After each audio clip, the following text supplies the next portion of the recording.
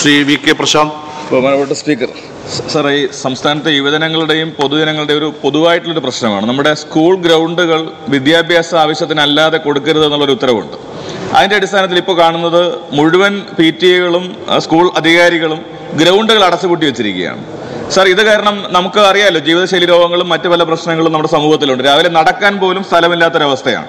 Sir ഇത് പരിഹരിക്കാൻ ഈ സ്കൂൾ ഗ്രൗണ്ടുകൾ ചെറിയ സ്കൂളുകൾക്ക് വരുമാനം ഉണ്ടാക്കത്തക്ക നിലയിൽ രജിസ്ട്രേഷനോ മെമ്പർഷിപ്പോ ഏർപ്പെടുത്തിക്കൊണ്ട് ചെറുപ്പക്കാർക്ക് തുറന്നു കൊടുക്കാൻ ആവശ്യമായിട്ടുള്ള ഒരു ശ്രമം ബഹുമാനപ്പെട്ട വിദ്യാഭ്യാസ വകുപ്പിന്റെ വകുപ്പ് മന്ത്രിയുടെ ഭാഗത്തു നിന്നുണ്ടാകുമോ എന്നുള്ള കാര്യമാണ് ഞാൻ സബ്മിഷനിലൂടെ. ബഹുമാനപ്പെട്ട പൊതുവിദ്യാഭ്യാസ മന്ത്രി സർ ഈ സ്കൂൾ ഗ്രൗണ്ടും പരിസരവും അതോടൊരു സെക്യൂരിറ്റി ഏരിയയാണ് അപ്പം അതുകൊണ്ട് അവിടെ അവിടെ ഒരു സംരക്ഷണം ആവശ്യമാണ്. നമുക്കത് പിന്നെ സ്കൂൾ ടൈം കഴിഞ്ഞ ശേഷം തുറന്നു കൊടുക്കുന്നതിനെ സംബന്ധിച്ചിടത്തോളം ഇപ്പോൾ ഒരു ഗവൺമെന്റിന്റെ വിദ്യാഭ്യാസ വകുപ്പ് അതിന്റെ പരിഗണനയില്ല.